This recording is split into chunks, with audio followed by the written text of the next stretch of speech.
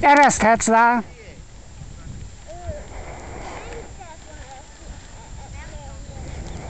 Miért? Maradj ott, ahol vagy. És ereszd a zsinót.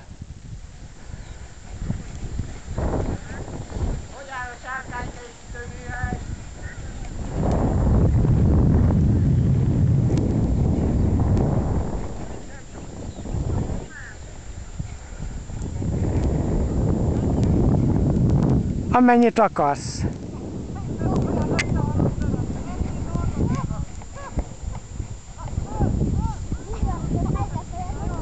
Nem kell húzni, azt